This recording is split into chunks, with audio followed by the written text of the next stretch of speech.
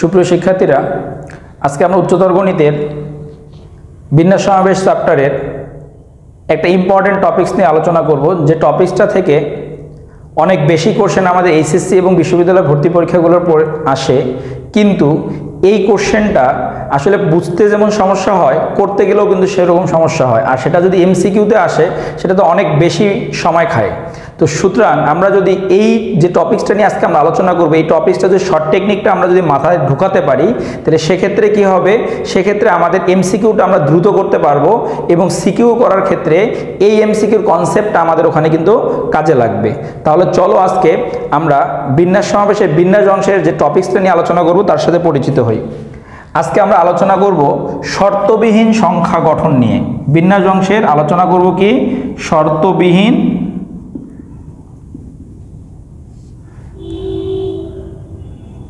শর্তবিহীন সংখ্যা গঠন। এই ধরনের যদি কিছু থাকে, তাহলে কিন্তু আমরা নর্মালি সবাই জানি যে সূত্রটা আমার অ্যাপ্লিকেবল হয়, সেটা হলো এনপিআর তার মানে এখানে এন এর মানটা অবশ্যই আর এর চেয়ে বড় অথবা কি সমান? কেন? কারণ এনটা কি আমার এখানে? এনটা হলো আমাদের মোট সংখ্যা আর আটটা হলো বাসাইকৃত সংখ্যা। তার মানে মোট সংখ্যাটা অবশ্যই বাসাইকৃত সংখ্যার চেয়ে বড় হবে। তাহলে শর্তবিহীন, তার মানে কোনো ম্যাথ করে যদি আমি দেখি কোনো শর্ত নাই, তাহলে সরাসরি আমরা এই সূত্রটা দিয়ে ম্যাথ করতে পারব। তো এনপিআর এটাকে তোমরা ভাঙ্গানোর ক্ষেত্রে যে কাজটা করতে পারো, সেটা হলো কি? Npr is equal to n factorial divided by n minus r factorial. এইটা দিয়েও তোমরা কিন্তু ম্যাথটা ভাঙ্গায় সলভ করতে পারো। এটা একটা। আর একটা যদি থাকে শর্ত যুক্ত সংখ্যা গঠন। শর্ত যুক্ত সংখ্যা গঠন। সংখ্যা গঠন। শর্তযুক্ত সংখ্যা গঠন হলে আমার সূত্রটা কি দাঁড়াবে? সূত্রটা দাঁড়াবে N P R divided by N into যাদের জন্য প্রযোজ্য, যাদের জন্য প্রযোজ্য।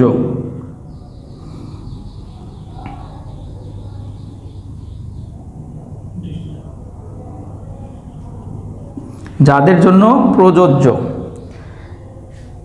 তাহলে আমাদের শর্তবিহীন সংখ্যা গঠনের ক্ষেত্রে এনপিআর আর শর্তযুক্ত সংখ্যা গঠনের ক্ষেত্রে যাদের ক্ষেত্রে প্রযোজ্য। মানে আমাকে অবশ্যই অবশ্যই এই যাদের জন্য প্রযোজ্য এই টার্মটা বুঝতে হবে। কারণটা কি? এনপিআর তো আমি এখানেও দেখছি।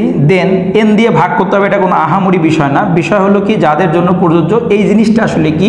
শর্তযুক্ত সংখ্যা গঠনের ক্ষেত্রে এই জিনিসটা কিন্তু আমাদের মাথায় রাখতে হবে। তো চলো তাহলে শর্তযুক্ত সংখ্যা গঠনটা কীভাবে থাকে এবং যাদের জন্য প্রযোজ্য বলতে কি বোঝানো হচ্ছে সেটা আমরা অঙ্কের মাধ্যমে দেখি। তাহলে খেয়াল করে দেখো, কি বলছে? One two three four five six seven থেকে পুনরাবৃত্তি ছাড়া তিন অঙ্কের, তার মানে কয় অঙ্কের? তিন। এটা হলো আর এর মান। তাহলে এন আছে কয়টা? এটা হলো এন এর মান। এক, দুই, তিন, চার, পাঁচ, ছয়, সাতটা। তাহলে এন এর মান কত? সেভেন আর আর এর মান কত আমাদের এখানে? থ্রি অঙ্কের সংখ্যা গঠন করা হলে এই পর্যন্ত হলে আমাদের এই সূত্রটা। বাট এখানে দেখো, সংখ্যার মান একশো থেকে পাঁচশো এর মধ্যে, তাহলে আমার কিন্তু শর্ত দিছে, এই যে শর্ত দিছে, শর্ত এটা কিন্তু শর্ত। একশো থেকে পাঁচশোর মধ্যে হবে, এটা কিন্তু শর্ত। তাহলে এই শর্তটা যদি না থাকতো, তাহলে কিন্তু এনপিআর দিয়ে আমি অঙ্কটা সমাধান করে ফেলতাম। বাট যেহেতু এখানে শর্ত আছে, সুতরাং আমাদের কি? শর্তটাকে যুক্ত ধরে আমাকে করতে হবে। শর্তযুক্ত ধরে করলে আমাদের যে জিনিসটা প্রবলেম হবে সেগুলো যাদের জন্য প্রযোজ্য। তাহলে ওইটা নিয়ে আমরা মূলত কাজ করব। তাহলে বিন্যাসটা কি হবে? বিন্যাস হবে এনপিআর এন এর মান কত? সেভেন পি আর এর মান কত আমাদের? Three divided by N N এর মান কত? সেভেন ইন্টু যাদের জন্য প্রযোজ্য। এই জিনিসটা এখন আমাকে বুঝতে হবে। যাদের জন্য প্রযোজ্য বলতে আমরা আসলে কি বুঝতেছি?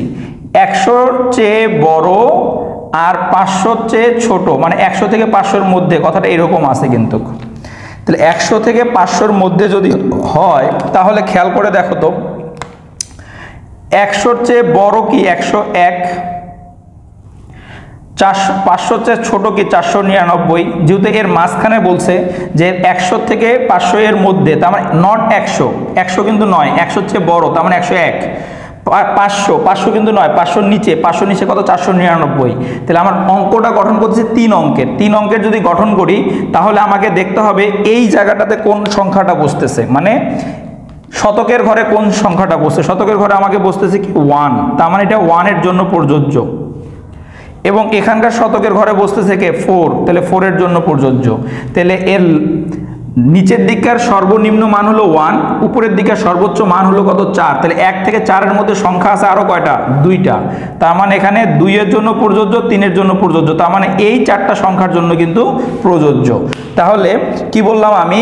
যে একশো এবং পাঁচশোর মধ্যে, তার মানে একশো নয় একশো চেয়ে বড়, তার মানে একশো এক, পাঁচশো নয় পাঁচশো চেয়ে ছোটো, তার মানে চারশো নিরানব্বই। তাহলে একশো এক যদি বলে তো শতকের ঘরে কি ওয়ান আছে? এটা হলো এই দিক থেকে মানে ছোটোর মান থেকে এলো কি সর্বনিম্ন যে সংখ্যাটা সেই সংখ্যাটা গ্রহণযোগ্য সংখ্যা।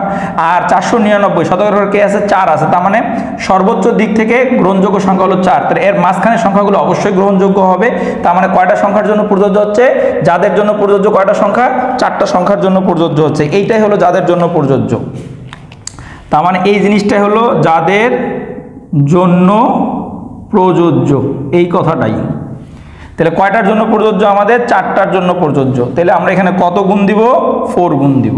তাহলে এখন আমরা নর্মালি ক্যালকুলেশন করব। তাহলে এখন একটা জিনিস, আরও একটা টেকনিক শিখাই দেই। সাধারণত এনপিআর ভাঙ্গানোর ক্ষেত্রে আমরা এই টেকনিকটা ব্যবহার করি। তো এই টেকনিকটা ব্যবহার না করে, যেহেতু আমাদের এখানে বাছাইকৃত সংখ্যা কত? তিন। তাহলে সাতকে আমি তিনবার বাছাই করব। সাতকে কয়বার বাছাই করব? তিনবার। তার মানে সাত নিজে একবার, এর চেয়ে এক কম, তার মানে ছয়, তার চেয়ে এক কম, তার মানে কত? পাঁচ। ডিভাইডেড বাই কত? সাত। ইন্টু কত? চার। তাহলে দেখো তো এই সাত এবং এই সাত কি যায়? কাটা যায়। তাহলে খেয়াল করে দেখো তো, এখানে চার পাঁচা কুড়ি আর ছয় কুড়াং কত হয়? একশো বিশ। তার মানে অ্যান্সার কত আমাদের? একশো বিশ। তাই দেখো, খুব ইজিলি কিন্তু আমরা ম্যাটটা করতে পারলাম।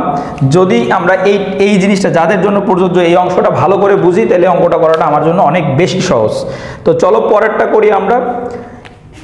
One three five seven eight তার মানে এখানে এন এর মান কত দেখো?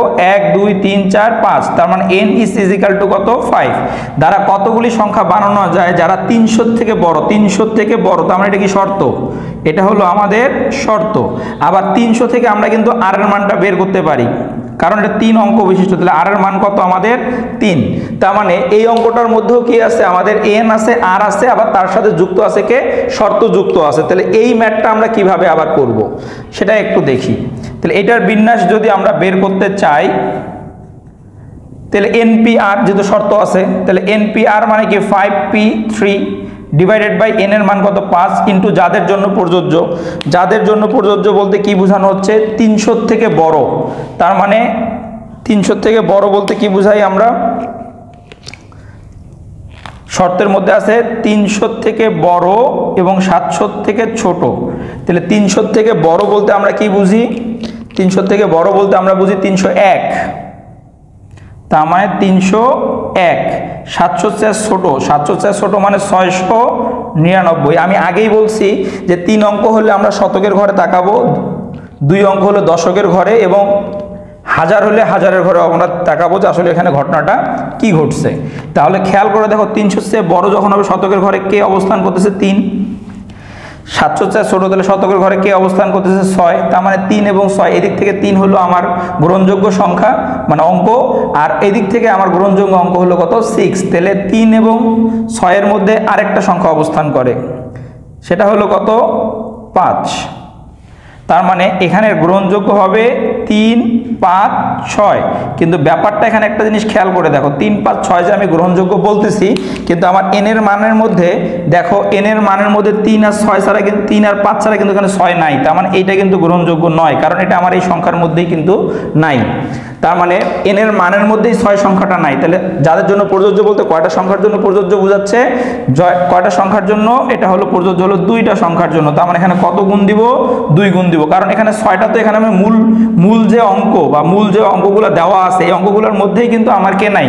এই ছয় সংখ্যাটাই নাই। তার মানে ছয় বাদ দিলে আমার কয়টা সংখ্যার জন্য প্রযোজ্য? দুইটা সংখ্যার জন্য প্রযোজ্য। তাহলে এখন আমরা ভাঙ্গাই। তাহলে পাঁচকে কয়বার বাছাই করব? তিনবার। তাহলে পাঁচ, চার, তিন। দেখো, তিনবার হয়ে গেছে বাসাই ডিভাইডেড বাই কত? পাঁচ। ইন্টু কত? দুই। তাহলে দেখো তো পাঁচ পাঁচ কি যায়? কাটা যায়। তিনে চারে বারো আর দুইয়ে কত হয়? চব্বিশ। তার মানে অ্যান্সার কত আমাদের? টোয়েন্টি ফোর তার মানে টোয়েন্টি ফোর মানে এটা অ্যান্সার আমাদের।